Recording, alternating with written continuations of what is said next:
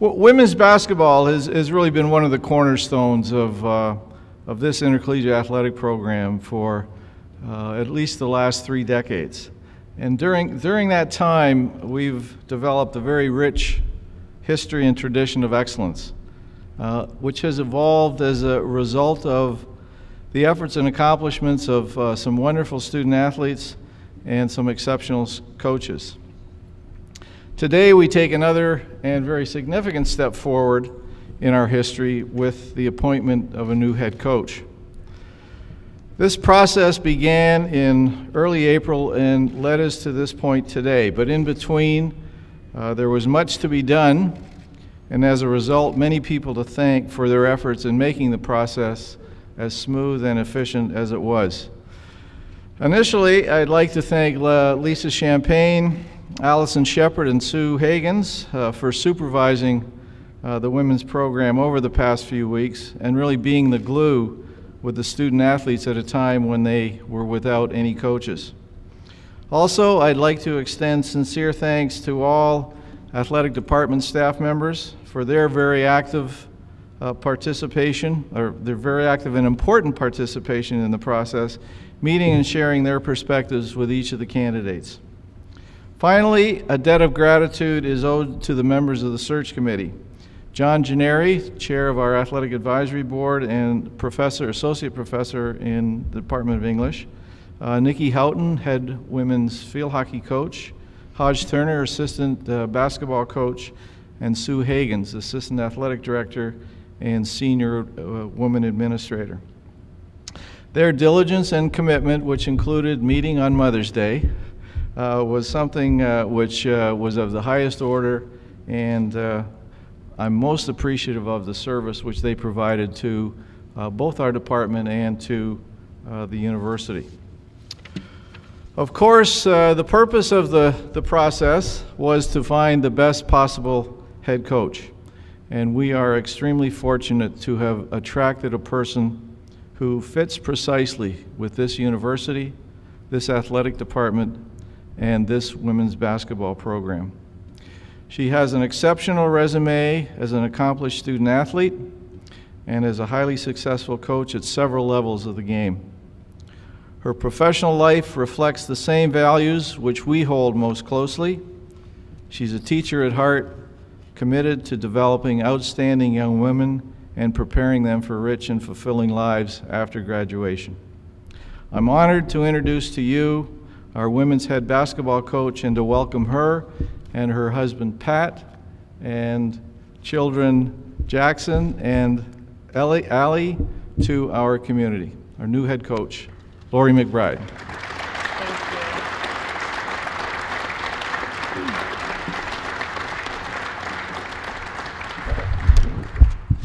Thank you Thank you so much.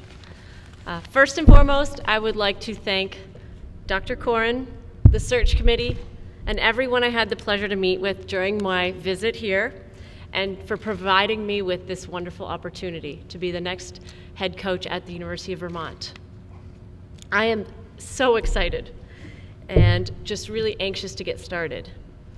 As I mentioned to a few people during my interview, my final two college choices as a player came down to Vermont and the University of North Carolina. As a young girl growing up in Lennoxville, Quebec, my first exposure to American basketball, NCAA basketball, was through the coverage of the Burlington uh, television stations. Even 20 years ago, the program's success was striking, and that really continues today. My decision to attend North Carolina was very narrow, and, but it never changed my reverence for this program at Vermont.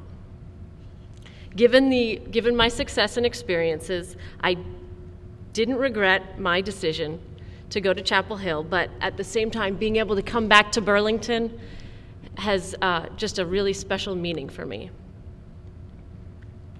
As there is every year, a lot of coaches get new jobs in the spring, but I don't know if there's anyone out there who's more excited and more appreciative of this opportunity.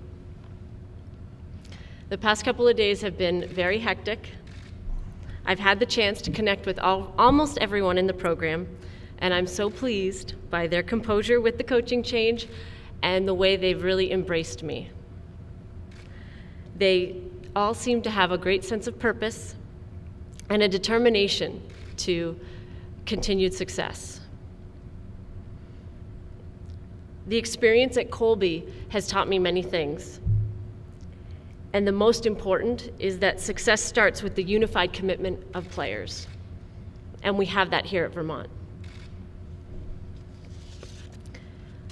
As with all coaching changes, there's a lot of work to be done, and uh, things. I'm hoping things will come really come together for us in the next couple of weeks.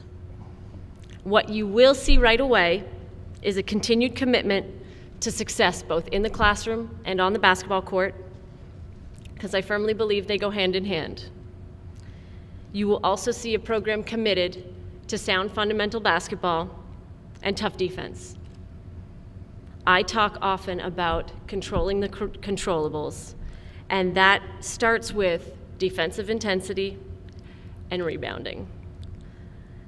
At Colby, we were ranked in the top nationally in those categories, and that is a major reason for our success. That will be a goal here. We will also play team basketball and work together. Equally important will be our involvement in the community. You will know who we are and what we stand for beyond the basketball court. It's been an amazing road to leading to this opportunity, and I have had the good fortune of working with so many amazing people. From my coaches in the Canadian National Program to Coach Hatchell at North Carolina, who has been such an incredible mentor to me, to my assistants at Colby. I've been fortunate to be around good people, and that will be the major focus for building my staff here at Vermont.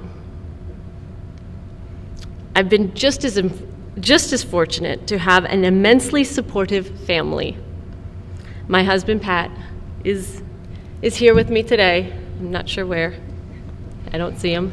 He's hiding. My parents are back in Maine taking care of our children, Jackson and Allie.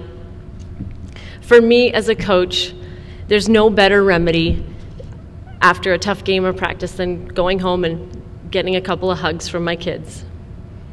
They were a big part of the program at Colby and will continue to be here as well at Vermont. Jackson will think he has 15 new girlfriends, and Allie will soon, when she gets a little bit older, feel like she has 15 new big sisters. I want to thank all of you for coming out today to support me and the program as we start this new chap chapter in Vermont women's basketball. The blueprint is in place, the bar has been elevated, and that will provide great motivation for me. Finally, what my players will quickly learn is that I'm a big quotes person. So I'm going to end with Isaac Newton If I have seen further, it is by standing on the shoulders of giants. My predecessors in this position have done some wonderful things and have been giants of women's basketball here at Vermont. I'm humbled to have that same opportunity as them and to build upon their successes.